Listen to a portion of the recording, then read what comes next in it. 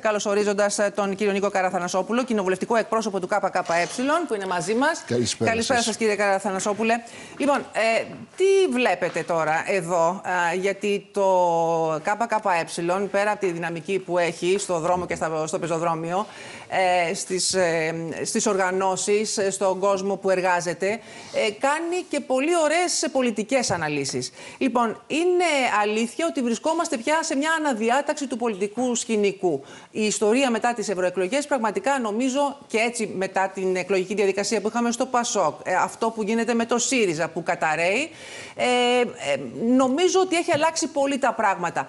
Πώς βλέπετε να εξολύσετε και τα πράγματα τα πολιτικά στη χώρα, με δεδομένα τα προβλήματα τα μεγάλα που αντιμετωπίζει ο κόσμος και πού βρίσκεται μέσα σε όλο αυτό το ΚΕ. Ναι, κοιτάξτε, ε, μιλάμε για μια αναπαλαίωση και όχι αναδιάρθρωση του, του αστικού πολιτικού συστήματος, γιατί υπάρχει μια αγωνιώδης προσπάθεια από το ίδιο το σύστημα, την άρχουσα τάξη, να υπάρχει ένας, μια εξισορρόπηση. Δηλαδή να υπάρξει και ένας άλλος πόλος. Γιατί το θέλει αυτό τον άλλο πόλο το σύστημα, η άρχουσα τάξη, το θέλει πολύ απλά για να μπορεί να εγκλωβίζει τη λαϊκή δυσαρέσκεια και να τους διασφαλίζει ότι ανεξάρτητα των όποιων επιλογών θα συνεχίζεται η ίδια. Ποιος είναι τώρα αυτός ο δεύτερος πόλος, Είναι το Πασό. Αυτός λοιπόν ο δεύτερος πόλος φαίνεται ότι ε, δρομολογείται για το Πασόκ. Το στηρίζουν όλα τα συστημικά μέσα. Ναι. Ο κύριος Μητσοτάκης τον επιλέγει ως το βολικό αντίπαλο. Ε, και προνομιακό αντίπαλο. Άρα λοιπόν ε, το πρόβλημα ποιο είναι τώρα με το Πασόκ; Το Πασόκ δεν... Γιατί είναι το σύστημα, λέτε τώρα κύριε Καραθανασόπουλε, γιατί το ΚΚΕ δεν, ενώ πήγε καλά στις ναι. εκλογές, αυτό που βλέπουμε τώρα, να μην έχει καταφέρει να πάρει και να βγει δυναμικά σε αυτό που βλέπουμε να γίνεται με το ΣΥΡΙΖΑ, ε, με τα υπόλοιπα επίσης κόμματα της ίσονος αντιπολίτευσης. Γιατί δεν τσιμπάει παραπάνω το ΚΚΕ, γιατί δεν έχει πιο δυναμική τέλος πάντων άνοδο; Κοιτάξτε, η δυναμική καταγράφεται καταρχάς στις μεγάλες απεργιακές κινητοποιήσει που γίνονται. Που το τελευταίο διάστημα έχουν πολλαπλασιαστεί, αγκαλιάζουν διάφορα τμήματα της εργατικής τάξης, από τους υγειονομικούς, τους εκπαιδευτικούς, τους ναυτεργάτε, τους εργαζόμενους στα λιμάνια, στα delivery. Και βεβαίως θα κλιμακωθεί αυτό στις 20 του Νοέμβρη με τη μεγάλη πανεργατική απεργία.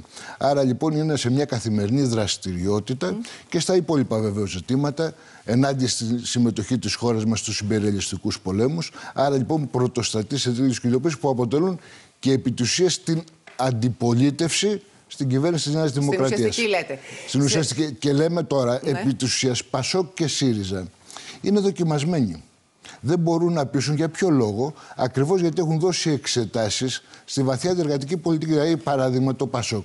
Έχει ψηφίσεις και τα τρία μνημόνια. Ναι. Είναι το πιο μνημονιακό κόμμα.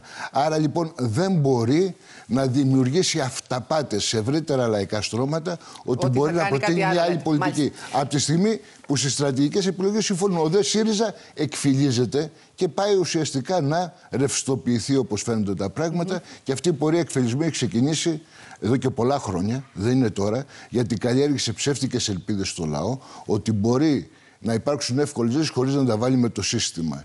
Και από αυτή την άποψη ο κύριος Κασελάκης είναι σύμπτωμα αυτής της πορείας εκφυλισμού και, όχι, και ενδεχόμενα και ο καταλήτης. Λοιπόν, είναι σίγουρο θα τα ξαναπούμε. Κύριε Καραθανσόπουλο, σας ευχαριστούμε πάρα πολύ για την παρουσία σας εδώ. για τη συζήτηση. Να είστε καλά.